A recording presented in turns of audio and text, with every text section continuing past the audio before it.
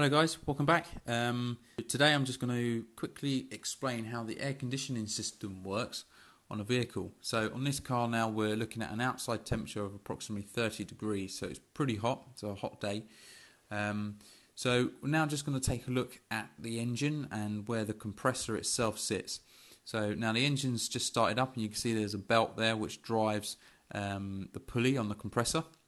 So this is the actual air conditioning compressor and we're just going to turn the aircon on and then once the aircon is then turned on you can then see that the pistons inside the compressor are pumping which will then compress the gas which is inside the system so at this particular point you can see here that the we've got the, the gas is around about zero degrees C and you've got approximately 3 bar of pressure which is roughly just over 30 psi. Um, just bear in mind that we're, we are um, looking at a system where the outside temperature is 30 degrees. Um, generally, if you was going to do any testing on a system, you're probably going to find it's probably around about 21 to 25 degrees outside. Well, if you're here in the UK anyway. Um, so just bear that in mind. The, the, the outside temperature does have a, has a massive effect on on the actual pressures. So um, once this compressed gas then um, is, is compressed by the, the compressor itself, uh, it then starts to exit the compressor and you can see now the gas has actually reached uh, approximately 85 degrees C and um, we've got around about 16 bar of pressure.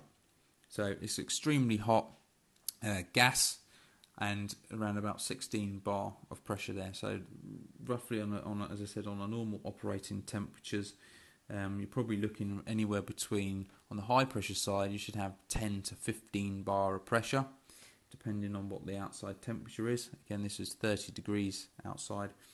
Uh, so between 10 to 15 bar, that's, a, that, that's approximately 150 to about 210 psi.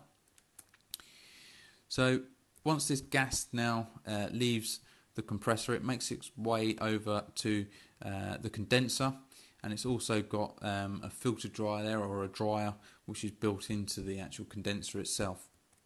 So as it kind of uh, enters the top of the condenser, we can see that the temperature is approximately still 85 degrees and around about uh, 16 bar in pressure. Now the temperature drops as it goes through this um, condenser, which is a bit like your uh, radiator. You can see that the temperature now drops right down to approximately 50 to 55 degrees. So we're still maintaining the same amount of pressure, but you, we can now see that we've actually turned our gas uh, back into a liquid. That's due to the actual temperature change. So that's the whole point of the condenser. As I said, it's a bit like a radiator. It's just re reducing the temperature to turn that gas back into a liquid.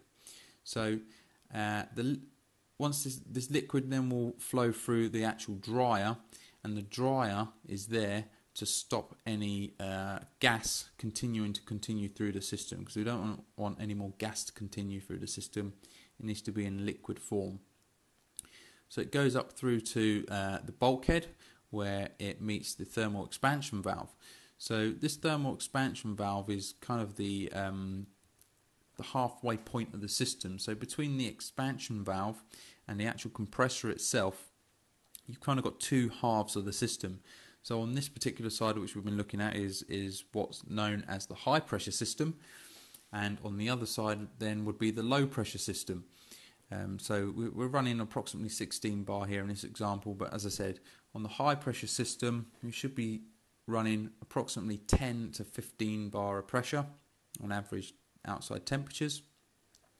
And on the low pressure side, uh, you should be running between 1.6 to 2.2 bar, so it's 25 to 30 psi uh, on the low pressure side. So inside this thermal expansion valve is a very small hole um, which is adjusted by a, a, a, thermostat, like a wax thermostat, effectively uh, inside there. But all you need to know is there's a small hole in there, and that changes the pressure from the high pressure side to the low pressure side. So at this particular point, we can see we've got a liquid here. It's under, it's at a high temperature. As this liquid is able to escape through the small hole, it then immediately turns um, into a gas because uh, effectively the uh, liquid is able to boil immediately. So this this boiling drops the temperature um, of the actual um, uh, liquid itself, so it turns into into a gas vapor, and this is where your cold um, your cold air comes from.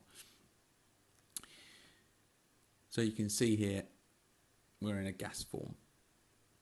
So our pressures drop to approximately 3 uh, bar and then the gas then passes through what's called the evaporator. Again, this looks similar to a radiator, like your coolant radiator.